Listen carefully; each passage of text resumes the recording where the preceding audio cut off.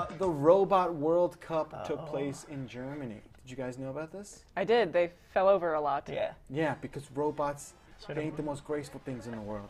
They can't play soccer. Look at these soccer kicking robots. Actually, apparently they can play a little bit. I'm sorry, this looks like the most boring ass soccer game. In Can the you imagine of watching soccer. that like in person? I Oh my go. god, look at all these. Oh, well, what's going to happen with the black team? And, uh, oh, what a kick. Oh, no. Give me a What a break. kick. Robots can't play sports. They shouldn't be But playing. apparently they did. Oh, what a header. See, told you. Get out of here. down.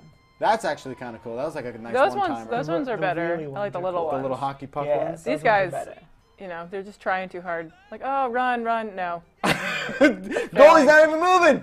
come on, man. Wake up, Dude, goalie. What are you doing? Uh, okay, finally. right?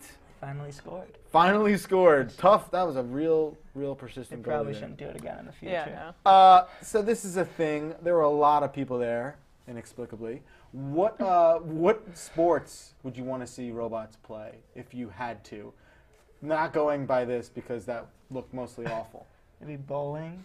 Bowling? Bowling or Some good baseball. precision bowling. Dude, bowling it's is like the simple it- easiest. That's like a pitch machine, like a pitching machine. You could just have that. That's- That's. They'll bowl 300s yeah, the whole time. every time. time would be good. Yeah? Be, I'd watch it. You're a sick kid. I like it. That's a I'd sick watch it. It mind. wouldn't You just want to see perfection. Wouldn't work with baseball. Why not? It's too, they'd have to run around. I mean, it- Oh, I guess. it- like home run derby that. would work. They have to have like the little like the like the slot car tracks. They have to pull them around the bases. Right. They have to have That's way too much. Jake forth. Has this all figured out. gonna do it. Sam, what sport would you like to see roboticized?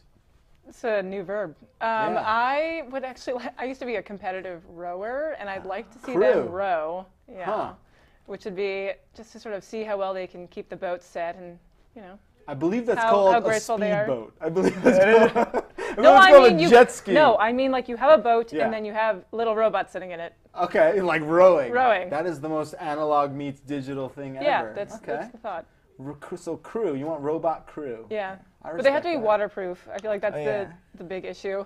If not, would be kind of hilarious. If not, you know, they all wrap.